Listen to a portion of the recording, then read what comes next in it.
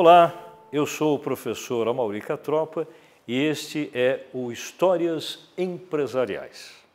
A cada semana eu trago para você um case real de empresas em seus mercados, com seus produtos e suas marcas. Uma forma de se relacionar as ações estratégicas corporativas na prática com os conceitos acadêmicos da teoria. Tema que eu trouxe para vocês hoje se refere às mudanças na percepção que as empresas têm ou deveriam ter com relação aos seus mercados e seus clientes. E a história que eu reservei para vocês hoje se refere a um case relacionado a uma marca mundial de refrigerantes. Marca essa que, num certo momento, decidiu mudar a sua fórmula. Mas antes de falarmos sobre o case, vamos mencionar alguma coisa sobre o assunto percepção. Observem essa foto. Essa imagem, embora antiga, ela retrata uma relação de compra e venda que se perpetua no tempo com algumas mudanças sobre formatos tecnológicos de maneiras de se vender, maneiras de se comprar. A separação entre as duas figuras que aparecem aqui, que é o balcão significa nada mais nada menos do que a fronteira entre a empresa, que está do lado de lá, representada pelo vendedor, e o mercado do lado de cá, representado por essa compradora. Uma coisa importante em termos de percepção é que as empresas têm que estar sempre atentas a essa relação de negócios, principalmente para preparar a forma do vendedor argumentar e convencer o cliente ou a cliente a comprar seus produtos e serviços. Uma coisa importante nessa percepção que se quer atingir se relaciona à posição e ao perfil de quem estiver observando essa relação de compra e venda. Nós não podemos esquecer que cada um de nós, ao notar a maneira como um vendedor se comporta e como um comprador ou uma compradora reage tem características diferentes na visão de cada pessoa. Depende muito do nosso perfil pessoal de observadores, da nossa experiência anterior, do nosso conhecimento, até do nosso estado de espírito. Ponto importante se refere àquela palavrinha ali, empatia, que é justamente a capacidade que as empresas deveriam desenvolver de saber se colocar no lugar dos seus clientes, para entender como pensa um cliente, como age, como funciona a cabeça desse cliente. Vou fazer um pequeno exercício aqui com vocês para a gente entender melhor essa questão da percepção. Vou mostrar uma imagem. Isso nada mais é do que um teste. Essa imagem que eu vou mostrar, infelizmente não temos muito tempo para ficar observando ela, mas eu peço para vocês de imediato tentarem encontrar a primeira reação de interpretação que vocês têm sobre o que é isso. A percepção de vocês. Olhem bem. A imagem não é muito nítida, mas eu suponho que alguns de vocês já devam estar identificando uma figura. Que figura é essa? Bem, infelizmente por falta de tempo, eu vou ter que dar para vocês já as duas possíveis interpretações que vocês terão tido. Né? E uma delas, provavelmente, alguns de vocês, ou muitos, quem sabe, vão ver a figura de uma pessoa de idade, de um velho. Né? Pois é, mas há outras pessoas que vão, nessa mesma imagem, ter uma percepção diferente. Vão possivelmente identificar aqui a figura de um jovem. Essa figura do jovem, talvez seja até um pouco mais difícil de ser notada, mas com um pouquinho de ajuda a gente vai encontrar. Olha aqui, esse é o queixo do jovem, ele está olhando para lá, o nariz dele está aqui, aqui está a testa dele, o cabelo. Né? Quer dizer, ou seja, duas diferentes percepções sobre um mesmo fenômeno. Onde isso nos leva? A uma comparação com o que ocorre com empresas em seus mercados. Muitas vezes os cenários que se apresentam para essas empresas são os mesmos, mas as percepções não são. Como nessa história que nós vamos ver hoje aqui. Vamos falar um pouquinho então sobre esta corporação, corporação multinacional que é nada mais nada menos do que a Coca-Cola. Essa empresa, Coca-Cola, que nós sabemos que tem uma história de mais de 130 anos no mundo, a partir dos Estados Unidos, onde ela iniciou as suas operações, ela tem tido ao longo do tempo uma experiência muito grande nessas duas coisas que a gente mencionou no slide anterior. Esse processo de desenvolver a empatia com relação à sua clientela, ou seja, se colocar no lugar dos seus consumidores, e também a experiência de desenvolver uma visão perceptiva, clara sobre como pensam os seus, os seus clientes, seus consumidores de forma geral.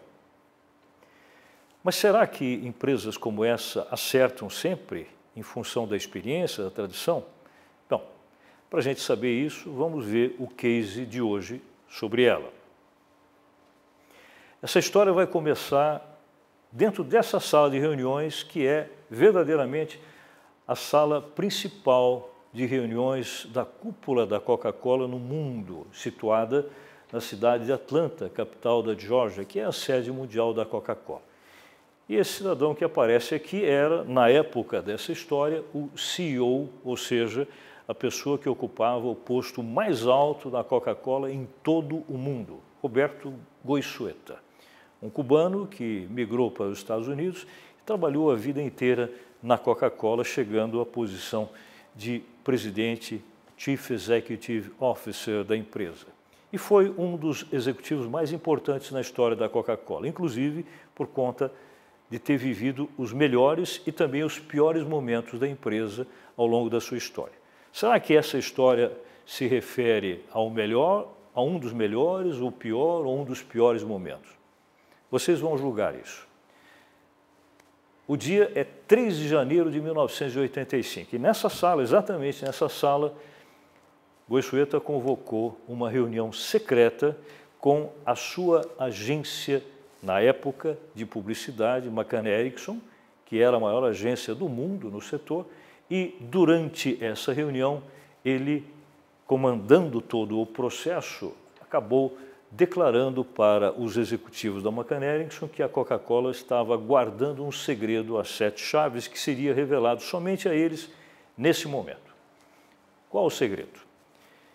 Segundo Goiçueta, naquele momento, estamos no início de 1985, portanto essa história tem mais de 30 anos, a empresa havia decidido, depois de 99 anos de existência da marca e do produto no mercado, desde 1886, mudar a sua fórmula, mudar o sabor.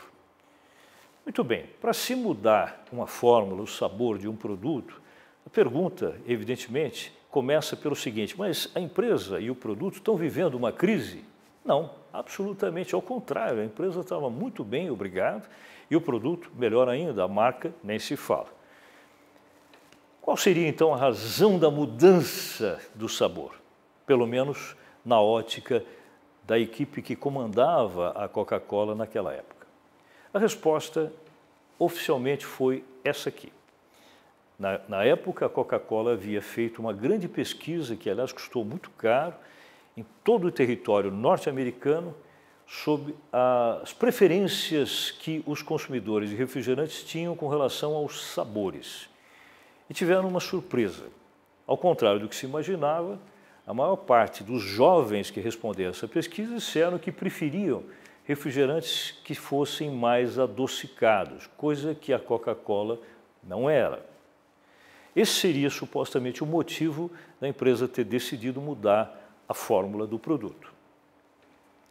O problema é que, ao se fazer uma mudança como essa, no caso da Coca-Cola, produto líder e produto de grande destaque e situação muito estável no mercado mundial, é que esse tipo de mudança poderia esquematicamente significar uma coisa mais ou menos como essa que eu quero mostrar para vocês. A fórmula original da Coca-Cola, acrescida de açúcar, que era exatamente o que a pesquisa mostrava que a clientela demandava, em adição ao que o produto era, isso iria resultar no quê? Uma mistura como essa geraria uma outra Coca-Cola. Esse produto aqui já não é mais o mesmo. Evidentemente não. Mas até aí, tudo bem. A questão é saber, esse outro produto com mais açúcar, o que, que ele vai representar no mercado? Ou que representaria na época? E aí é que vem o grande risco. Na época, o seu principal concorrente ou a sua marca mais, digamos que mais a perseguia de perto, que era a Pepsi Cola, tinha como diferencial em termos de sabor justamente isso. A Pepsi era um refrigerante, na época pelo menos, que tinha um padrão muito mais açucarado. Ora, ao se fazer isso, a nova Coca-Cola que iria surgir seria provavelmente algo muito semelhante à Pepsi Cola. Em outras palavras, a número um do mercado estaria intencionalmente se aproximando a fórmula da número 2 do mercado. É um pouco estranho isso, não é? Principalmente por causa da situação extremamente favorável que a Coca-Cola vivia, não só nos Estados Unidos, mas no mundo de uma forma geral. Muito bem.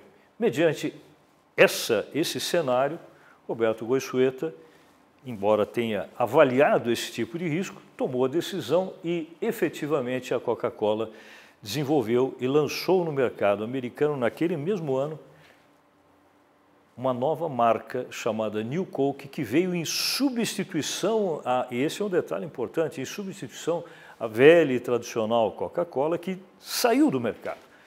E nesse espaço, ela colocou a sua nova Coca-Cola, New Coke, que era um refrigerante com uma dosagem muito maior de açúcar. Né? A embalagem em termos é, de, de, apresentação na versão lata era essa daqui, que vocês podem notar que é muito semelhante à anterior, a diferença fica por conta apenas da expressão new. Mas, importante, está se criando uma nova marca. Essa não é a marca Coca-Cola, nem a marca Coke tradicional, e sim New Coke, outro nome. O que tem aí dentro também tem uma outra fórmula. A data em que isso aconteceu foi 23 de abril de 1985. E isso aconteceu apenas no território norte-americano. Muito bem, com essas informações que nós juntamos até agora, a gente poderia imaginar que tudo indicava, ao se cumprir o que a pesquisa dizia, que a Coca-Cola faria mais uma vez um grande sucesso com essa inovação. Mas não foi isso que aconteceu. Ao contrário, essa experiência foi um dos maiores fracassos da história da Coca-Cola em todos os tempos. E o Coke. O que nos resta agora é fazer, como a gente sempre procura nesse programa, uma avaliação crítica com relação a esse cenário. O que eu vou propor para vocês que estão em casa, e nós vamos fazer isso aqui também no nosso estúdio, é uma análise desse problema vivido até então e uma visualização sobre que tipo de estratégias se poderia ou se deveria ter tomado na época para contornar essa situação. E aí, então, três perguntas para vocês e para nós que estamos aqui no estúdio. A primeira delas é a seguinte: já que há uma afirmação de fracasso, por que será que essa mudança resultou em fracasso? uma vez que ela estava seguindo o que a pesquisa indicava. Uma questão para se pensar. Né? Segunda questão importante é sobre o aspecto específico do marketing. Será que houve algum tipo de erro mercadológico adotado pela Coca-Cola ou não? Ou seria uma questão relacionada a outras áreas, como logística, como eventualmente aplicação financeira de determinados budgets, orçamentos no projeto, ou enfim, questões relacionadas à gestão de pessoas, enfim, tudo mais que não seja marketing. Precisamos responder essa questão também. E a terceira, mais importante pergunta é com relação ao seguinte: nós vamos agora nos colocar, vocês em casa e nós aqui no estúdio também, vamos nos colocar no lugar da pessoa do Roberto Goiçueta. Nós agora seremos os CEO dessa empresa. Nós estamos no ano de 1985 e estamos frente a esse cenário de fracasso. A pergunta: mesmo que a gente saiba como foi que a Coca-Cola reagiu a isso, nós vamos pensar com a cabeça da época e vamos idealizar alguns tipos de ideias que a gente poderá desenvolver em termos de ações estratégicas para contornar esse problema, para sair desse cenário desfavorável. Mediante isso, vamos tentar resolver isso aqui com o convidado que nós trouxemos hoje para a nossa sala de reuniões, que é o Bruno Marcon Servilha, que é aluno do curso de administração da PUC de São Paulo, para quem eu vou transferir essa encrenca aqui na tentativa de encontrar uma solução. Bruno, primeira questão, foi fracasso, indiscutivelmente. Por quê? Olá, professor. Bem? Acredito que a, essa mudança, né, é, que resultou em um fracasso, é, ela foi gerada um fracasso porque possivelmente o mercado não entendeu muito essa mudança. Se trata de uma empresa né, é, que tem a bebida mais vendida no mundo, não só nos Estados Unidos, como é esse caso. E realmente a percepção do mercado, a percepção da pessoa que estava em casa e que viu essa mudança foi talvez que realmente a Coca-Cola estava reconhecendo um erro de que sua bebida era menos doce do que a sua segunda colocada, que é a Pepsi, né, professor? e estava tentando corrigir esse erro, indo em caminho a, a segunda colocada que era a Pepsi. Então, neste caso, eu acredito que a percepção do consumidor da Coca-Cola não foi uma boa percepção, porque entendeu que a Coca-Cola estava admitindo um erro dela, né? E estava tentando corrigir este erro com essa mudança no, na sua fórmula da bebida. Muito bem, você tocou duas coisas importantes aí. Primeiro, repetindo a questão da percepção, que é o nosso assunto central realmente. E você mencionou também de forma enfática que houve um erro. Então vamos passar para a segunda questão. Você acha que o erro foi um erro de marketing ou o erro se refere a outra atividade de negócios eh, relacionada a finanças, relacionadas a orçamentos, a gestão de pessoas, a logística, enfim, o que é? Sim, acredito sim que houve um erro de marketing nesse case da Coca-Cola, é, devido à percepção, mais uma vez, né, repetindo a informação, a percepção do consumidor. É, essa empresa de marketing que estava presente nessa reunião como presidente da Coca-Cola, ela deveria ter se atentado mais a essa questão de como que o consumidor estaria visualizando essa mudança. É, se ela tivesse dado uma atenção um pouco maior de como iria se entender essa mudança, da questão de ser uma bebida mais doce, enfim, tentar desviar um pouco dessa imagem referente à Pepsi, mostrar que seria mais uma alteração da Coca-Cola, com uma imagem mais positiva da New Coca, né, a, nova, a nova marca criada, e tirar da cabeça do consumidor essa imagem talvez que é uma bebida mais doce, que é referente ao pedido do consumidor mesmo, que pediu uma bebida doce, porque isso logo trouxe ao consumidor a imagem da Pepsi.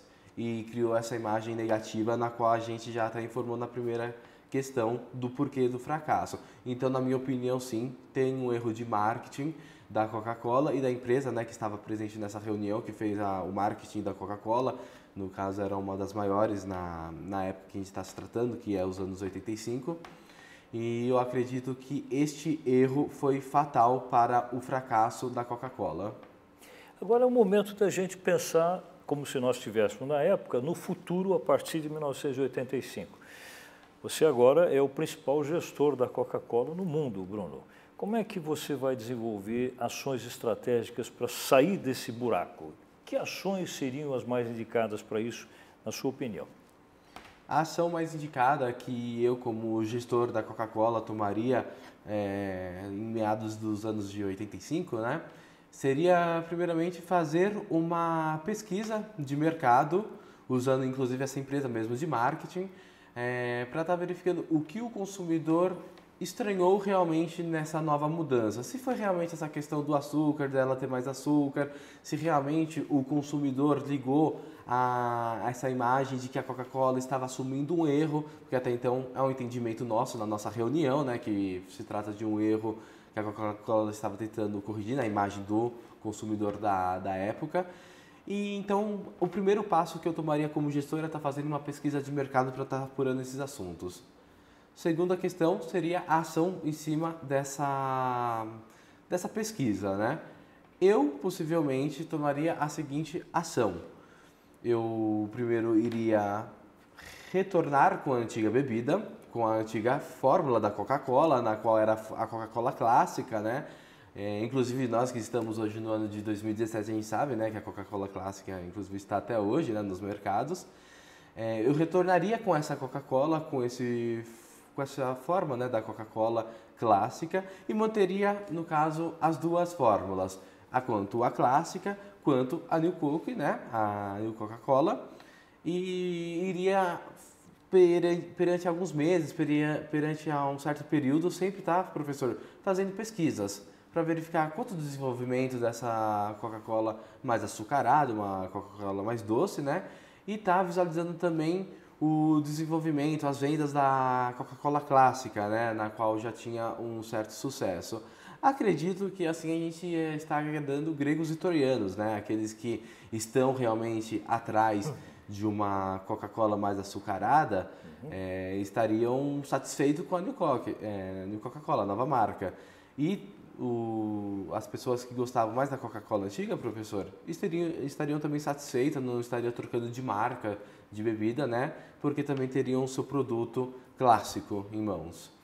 O que o Bruno está dizendo, e eu percebo aí na sua avaliação, é que a volta ao passado, em muitas situações, talvez seja o caminho mais seguro, né? Mais seguro, porque afinal o passado já foi testado não é isso? Com certeza. Muito bem. Então nós vamos fazer agora o seguinte, Bruno. Eu vou uh, concluir essa história para a gente comparar a tua avaliação e tuas ideias com o que realmente a Coca-Cola fez na ocasião mediante esse cenário. Tá Tudo bem? bem. Ok?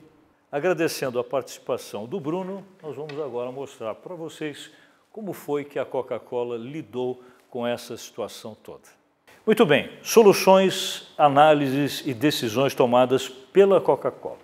Primeiro ponto importante, ela percebeu que o fracasso começou no processo de planejamento da New Coke, onde três coisas chamaram atenção. Em primeiro lugar, a empresa havia levado em consideração que o fato do cliente aceitar um novo sabor não seria necessariamente um grande problema, mas o que ela se esqueceu de verificar é se haveria chance do consumidor aceitar uma nova marca que é diferente da experiência de se ter simplesmente um novo sabor.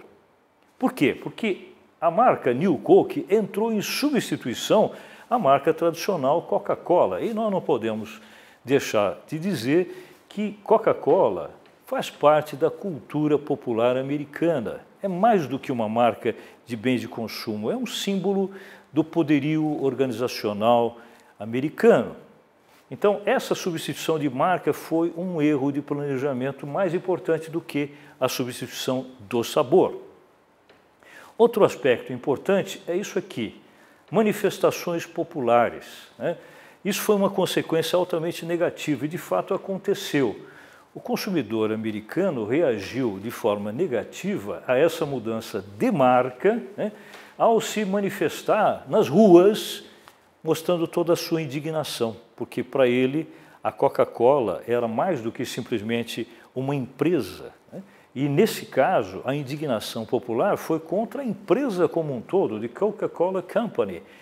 Isso refletiu, inclusive, com relação a outros produtos da mesma organização. Agora, houve uma consequência positiva, embora não planejada, que se refere à utilização da mídia televisiva. O que a gente pode lembrar é que, se por um lado a Coca-Cola fez com o seu novo produto campanhas publicitárias pagas, aconteceu também favoravelmente uma outra coisa. As emissoras de TV, através dos teus, seus telejornais, começou a falar diariamente sobre a mudança de sabor, ou seja, publicidade ao invés de propaganda, o que significa um reflexo altamente favorável, embora estivessem criticando a New Coke, mas estavam, na verdade, valorizando a boa e velha Coca-Cola tradicional.